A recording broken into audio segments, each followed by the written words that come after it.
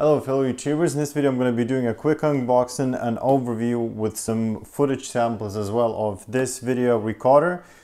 Now the box looks like so, it's a generic one, you probably can see ones on eBay and maybe even Amazon as well. So I decided to get one, this is one of the cheapest one if not the cheapest ones and just to show you why it's not a good idea to have one even though it, if it is cheap and affordable. So let's start first maybe with unboxing and I'm gonna go show you footage and talk about that a bit later. The box is pretty standard as you see on each side. It's exactly the same information except except of the couple pictures. Okay, so it has 2.5 inch rotatable LCD screen, pretty much 360 degrees. It records in HD, actually even higher than HD, I believe 960p or so. Not 100% sure. It includes the car charger and all the bits and bobs uh, required, such as the rechargeable lithium battery, which I don't know how good is the quality, but it's included. Um, so yeah, let's just open the box first and show you everything what's inside. So obviously you have a recorder, which we're gonna go through a bit later also a little cardboard piece. In terms of extras, not too bad. You have a mini USB cable.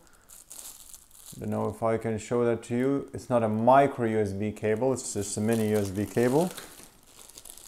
Now here we have a suction cup mount for the windscreen. Just one sec, actually I'm gonna show that to you because that's quite important for some.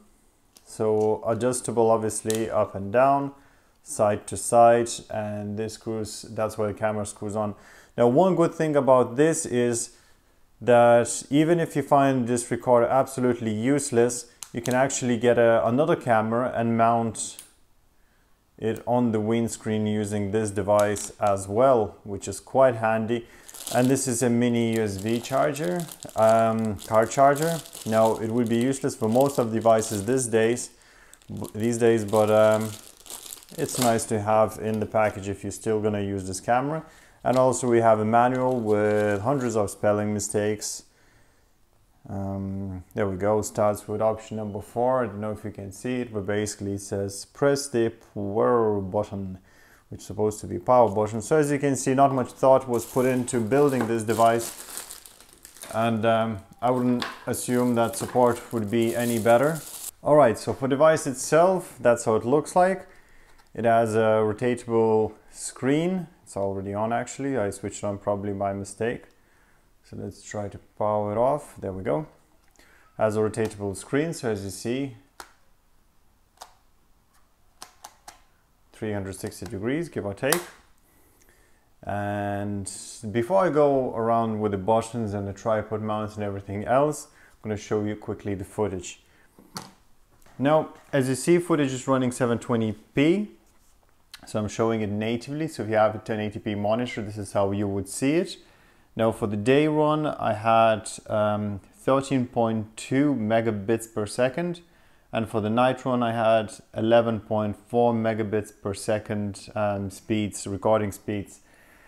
Um, so quality, as you'd assume, wouldn't be the best. It would be comparable to the one of the cheapest ones, pocket um, cameras and uh, also it doesn't record audio which is also a disappointment. And at night you can't really see much as you see from the videos here. Now back to the actual device. If you're still interested I'm going to show you what's inside. So obviously you have a battery. Now to me it looks like a Nokia battery or at least a knockoff Nokia battery BL5C so if you have old Nokia phones lying around, this might be useful. Now, the battery is 3.7 volt, 1020 milliampere hours, and it's a lithium battery according to the science uh, made in China.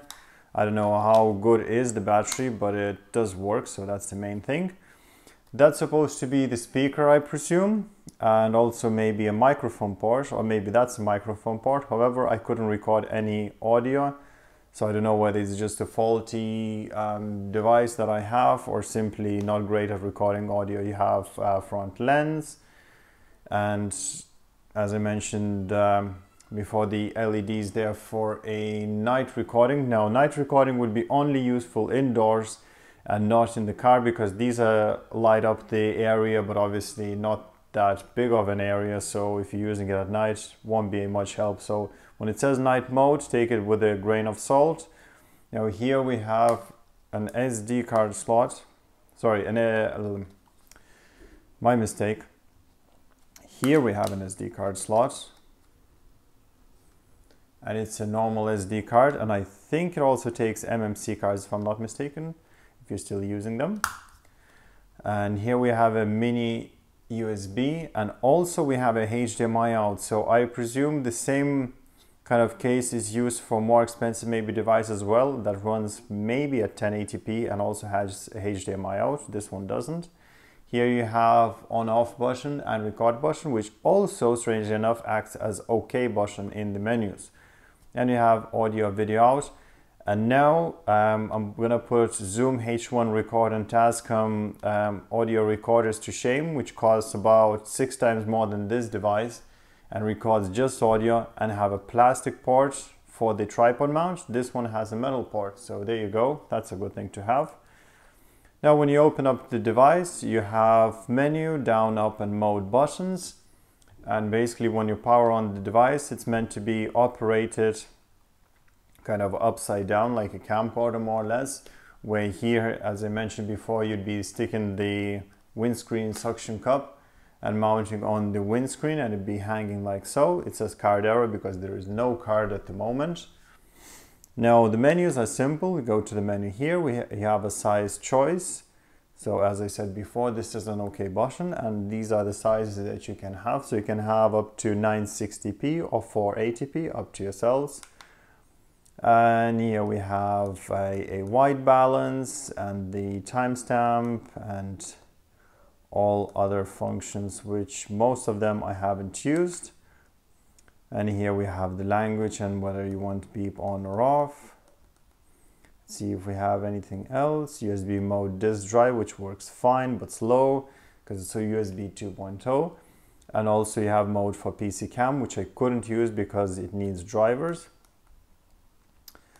so yeah that's pretty much it. Mode um, this takes pictures 5 megapixel pictures. Haven't tried that and I don't think I would need that because quality is not great. No file because there's nothing on the card and this is your standard recording. Um, as for the battery life uh, it was okay. It lasted about hour and a half which most of you who heard about the GoPro at this stage knows that this is pretty nice for video recorder but nothing unusual. So let's sum it up. Now, for those who listen to the end or simply skip to the end, uh, my conclusion about this recorder, should you buy one? If you are buying it for what it's used for, which is a HD recorder for the vehicle recording, no, you should not, because one, the quality is not great, whether it's a day or night, you couldn't see anything. Two, is just not reliable. So in case of an accident, I don't know if anything that you recorded, if you recorded would be of any use anyway in cars or with your insurance company. So that pretty much voids this device for what it's built for. Now the only good points what I saw was not even anything to do with the operation of device, which was the tripod mount was made of metal, which is very nice. And the actual suction cup can be used for the devices as well. So that's a plus point.